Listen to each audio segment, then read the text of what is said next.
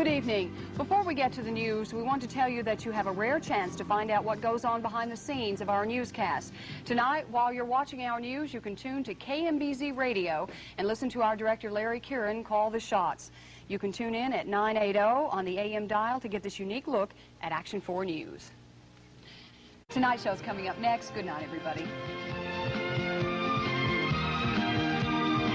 For news you can use and much more, join Glenn Hansen and Barbara Remkes for midday, weekdays at 11.30 right here on TV4.